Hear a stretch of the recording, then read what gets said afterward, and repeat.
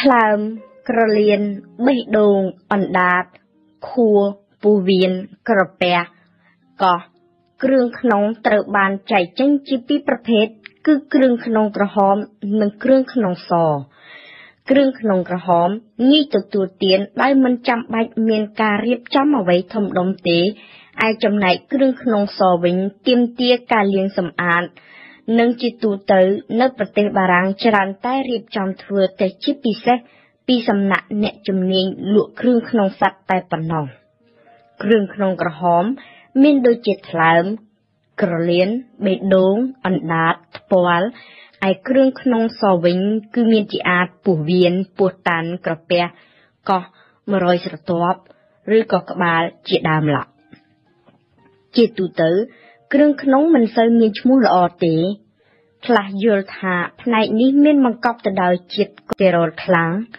ខ្លះថាកុកខ្វក់មានបង្កប់ទៅដោយមេរោគគ្រប់ប្រភេទនិងជាតិពុលទៀន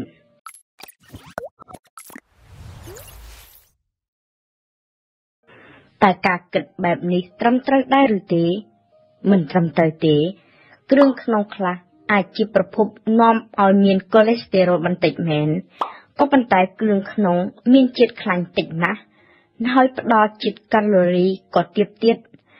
គ្រឿងក្នុងសម្បូរទៅដោយវីតាមីន ប្រូតេអ៊ីន និងសារធាតុរ៉ែគ្រឿងក្នុងមានគុណប្រយោជន៍ល្អយ៉ាងណាស់ចំពោះសុខភាពតើត្រូវទទួលទានក្នុងកម្រិតណានិងយ៉ាងដូចម្ដេច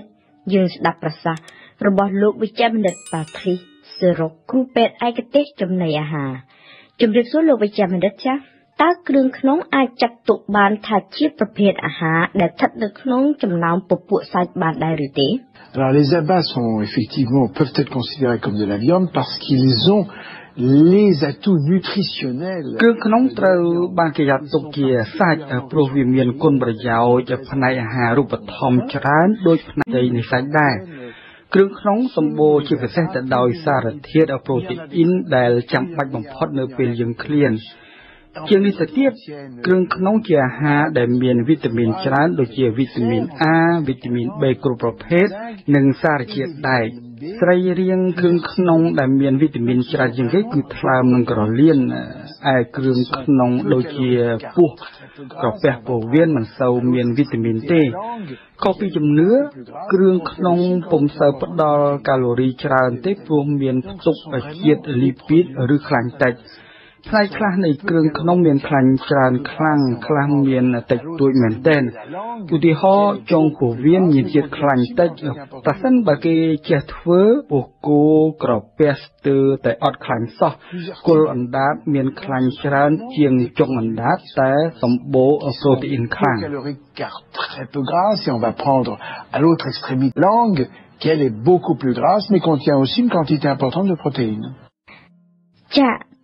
តើត្រូវទទួលទានគ្រឿងក្នុងជាអាហារប៉ុន្មានដងក្នុងមួយសប្តាហ៍ដើម្បីកុំឲ្យមានឈ្មោះថាហូបវាច្រើនជ្រុលនោះលោកបច្ចេកបណ្ឌិតចា៎ Bah, ça va ça va dépendre បើទទួលទានផ្នែកដែលមានខ្លាញ់ខ្លាំង2ដងក្នុងមួយសប្តាហ៍អាចចាត់ទុកថាច្រើនជ្រុលហើយប៉ុន្តែអ្នកបរិភោគតែគ្រឿងក្នុងដែលមិនសូវមានខ្លាញ់ក្រពះពោះវៀននោះមិនមានអីទេព្រោះយើងមានអាហារដល់ទៅ14ពេលឯនោះក្នុងសប្តាហ៍ ចំពោះអ្នកដែលចូលចិត្តខ្លាំងគេអាចបណ្ដោយខ្លួនញ៉ាំគ្រឿងក្នុងមិនសូវខ្លាញ់លាយចម្រុះជាមួយគ្រឿងក្នុងខ្លាញ់ខ្លាំងម្ដងឬពីរដងបានក្នុងមួយអាទិត្យ peut faire de une à deux fois par semaine ចាលោកចិនតើតើជាការពិតដែរទេដែលថាការទទួលទានខួរសัตว์ទៅនឹងធ្វើឲ្យក្មេងកាន់តែឆ្លាត Non, ça reposait sur l'imaginaire, manger la មិនពិតទេនេះគ្រាន់តែជាជំនឿតែប៉ុណ្ណោះខួរគ្មានអាហារូបត្ថម្ភអ្វីជាពិសេសលើសផ្នែកផ្សេងផ្សេងទៀតនៃគ្រឿងក្នុងឡើយខួរសម្បូរទៅដោយជាតិប្រូតេអ៊ីននិងមានជាតិលីពីតច្រើនជាងគ្រឿងក្នុងដទៃ តែការទទួលទាននៅខួរទំនងជាអាចបង្កើតជាតិផូស្វ័រព្រោះខួរសត្វឬសត្វមានជាតិផូស្វ័រមួយទៀតលើមនុស្ស On pensait que ça donnait du phosphore. អ្នកមានបញ្ហាខ្វះឈាមស្លេកស្លាំងត្រូវបានគេណែនាំឲ្យទទួលទានគ្រឿងក្នុងឲ្យបានច្រើនតើសេចក្តីណែនាំនេះត្រឹមត្រូវដែរឬទេលោកវិជ្ជបណ្ឌិតចា៎ Alors la réponse est oui. Il y a, il y a មែនមានគ្រឿងក្នុងពីរដែលគ្រូពេទ្យតែងណែនាំឲ្យអ្នកជំងឺទទួលទានគឺថ្លើមនិងឈាមព្រោះនៅពេលយើងមានជំងឺស្លេកស្លាប់ខ្វះឈាមអានីមីឬខ្វះជាតិដែកគេត្រូវតែរកអាហារដែលសម្បូរជាតិដែកមកបង្គ្រប់គេអាចគិតគូរជាដំបូងរកទទួលទានសាច់ដែលសម្បូរជាតិដែកដែរឲ្យបានច្រើនជាងមុន តែការបន្ថែមអាហារជាថ្លើមនិងឈាមដែលរឹតតែសម្បូរជាតិដែកខ្លាំងជាងសាច់សុទ្ធទៅទៀតនោះ ជាការកាន់តែប្រសើរដូច្នេះប្រសិនបើអ្នកមានបញ្ហាខ្វះគ្រាប់ឈាមស្រេកស្លាំងមែនគួរតែទទួលទានថ្លើមនិងឈាម2ដងក្នុងមួយសប្តាហ៍ឬក្នុងមួយសប្តាហ៍ត្រូវហូបថ្លើមម្ដងនិងឈាមម្ដង un boudin noir une fois par semaine un foie de veau. ចុះចំពោះក្មេងវិញតើចាប់ពីអាយុប៉ុន្មានឡើងទៅ ទើបអាចឲ្យទទួលទានគ្រឿងក្នុងនេះបាន បើក្មេងអាយុ15ខែហើយតើជាអាយុដែលក្មេងជ្រុលពេកទេដឹងលោកវិជ្ជបណ្ឌិត À partir du moment où il y a la diversification alimentaire qui commence entre អនុសាសន៍របស់វិជ្ជសាស្ត្រគឺត្រូវផ្ដល់អាហារឲ្យបានថ្លៃដល់ទារកនិងកុមារតាមក្បួនវិជ្ជសាស្ត្រចាប់ពីអាយុ4ឬ6ខែឡើងអ្នកជាឪពុកម្ដាយអាចផ្ដល់អាហារសាច់ដល់កូនបានហើយបើយោងតាមលក្ខខណ្ឌបែបនេះការកិនគ្រឿងក្នុងឲ្យកូនក្មេងញ៉ាំមិនខុសអ្វីពីកិនសាច់ឲ្យក្មេងអាយុចាប់ពី1ឆ្នាំឡើងទៅញ៉ាំទេ ការឲ្យក្មេងញ៉ាំគ្រឿងក្នុងកាន់តែឆាប់នឹងធ្វើឲ្យក្មេងកាន់តែឆាប់បានស្គាល់និងបានភ្លក់រសជាតិគ្រប់បែបយ៉ាងដែលជាប្រការល្អទៅវិញទេហើយរឿងក្មេងចូលចិត្តឬមិនចូលចិត្តនោះជារឿងផ្សេងតែយ៉ាងណាក៏ដោយខ្ញុំនៅតែចង់ណែនាំឲ្យអ្នកជាពុកម្ដាយដែលបើទោះខ្លួនឯងមិនចូលចិត្តក្តីក៏គួរឲ្យកូនបានភ្លក់អាហារមួយមុខនេះដែរ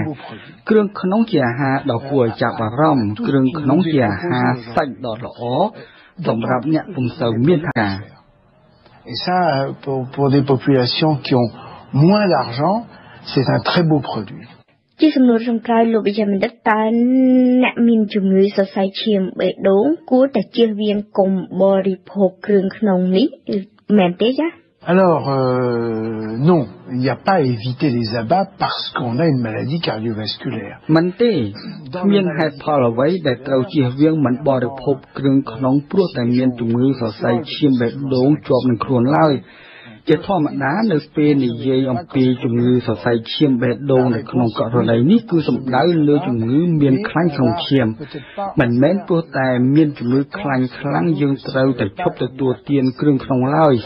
លោកអ្នកនៅតែអាចទទួលទានបានជានិច្ចគ្រាន់តែក្នុងកម្រិតនិងបរិមាណទាបមិនញយដងពេកតែប៉ុណ្ណោះបើនិយាយអំពីការខ្លាចឡើងខាញ់ក្នុងឈាមឬមានជំងឺខ្លាញ់ក្នុងឈាមនោះចង់ចាំថាសូម្បីតែការទទួលទានសុទ្ធក៏អ្នកមានជំងឺកូលេស្តេរ៉ុលត្រូវប្រុងប្រយ័ត្នដែរ គេមិនត្រូវទទួលទានពងមាន់មួយថ្ងៃមួយឬ5ទៅ6គ្រាប់ក្នុងមួយសប្តាហ៍ទេព្រោះជាបរិមាណដ៏ច្រើនជ្រុលសម្រាប់អ្នកមានជំងឺកូលេស្តេរ៉ុលប៉ុន្តែការទទួលទានគ្រឿងក្នុងឬថ្លើមដែលមានកម្រិតកូលេស្តេរ៉ុលខ្ពស់ខ្លាំងជាងគ្រឿងក្នុងដទៃម្ដងម្កាលក្នុងសប្តាហ៍មិនចោទជាបញ្ហាអ្វីដល់សុខភាពឡើយផ្ទុយទៅវិញប្រសិនបើអ្នកចង់ធ្វើរបបអាហារដើម្បីបញ្ចុះទម្ងន់ក្រុមគ្រូពេទ្យឯកទេសសូមណែនាំឲ្យអ្នកងាកមកបរិភោគគ្រឿងក្នុងជាអាហារ On peut les consommer lorsqu'on fait un régime pour maigrir. Les abats sont tout à fait conseillés. ចាសសូមអរគុណលោកវិជ្ជបណ្ឌិតសូមបញ្ជាក់ថាលោកវិជ្ជបណ្ឌិតប៉ាត្រិកសារ៉ុកគឺជាគ្រូពេទ្យឯកទេសជំនាញចំណាយចំណីអាហារ